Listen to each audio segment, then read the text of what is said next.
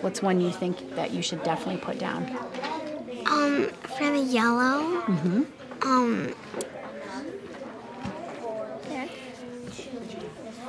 yeah, because like we thought of that one because like water can like um like pick up pieces of land and carry it.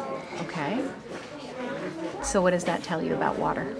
That water's more powerful. Okay. So, how will we write that?